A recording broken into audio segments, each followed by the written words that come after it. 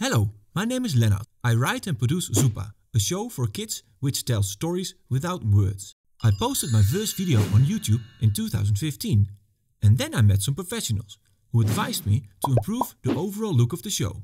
Luckily, they were willing to teach me how. Three years later, I have finally finished the remake. Now Zupa lives in a new 3D environment.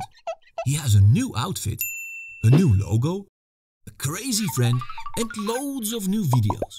Creating videos and giving them away for free is a crazy business. If you like what I'm doing and your kids enjoy watching my videos, then there's the possibility to support me on Patreon, an incredible website where people like you support creators like me. For as little as $1 per month, you can join the Zupa community. Get a private link to the hilarious first Zupa video and exclusive access to behind the scenes stuff. I want to post videos more often and create more stories without words. If you want to be part of all this, you can support me on patreon.com slash Zupa.